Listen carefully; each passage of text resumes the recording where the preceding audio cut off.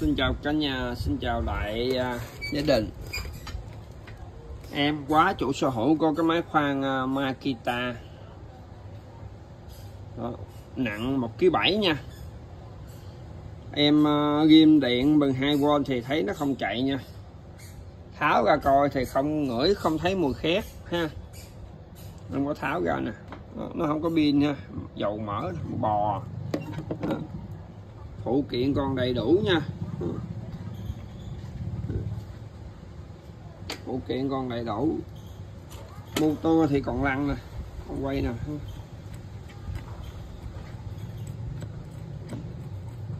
Ha, không có bị cứng nè. Họ quay xuôi quay xuôi quay đi quay họ à nó bung nè đây xíu gắn lại.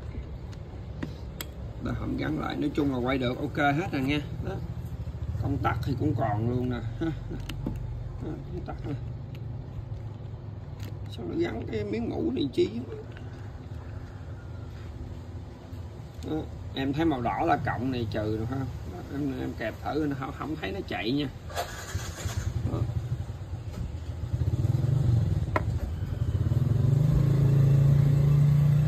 rồi em quá quyền Vinh Thạnh thành phố Cần Thơ chuyên gia bán đồ gia dụng nội địa Nhật ha. Em gửi lời chào và chúc sức khỏe tất cả các quý khách của chú anh chị em, bạn bè thân mến gần xa. Đều được mạnh khỏe làm ăn phát tài phát đạt ha. Em thì không rành ha. Ngửi không thấy mùi khét nha. Cam kết, nghĩ không cháy đâu.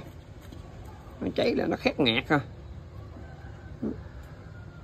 Không biết hư công tắc hay là sao. Em để màu đỏ, màu hồng là cộng, cái kia là trừ em bật cái, uh, cái cục này lên 12V mà bóp nó không nhích gì chứ nó không ăn ẹ ẹ hay ọt ẹt gì chứ thua.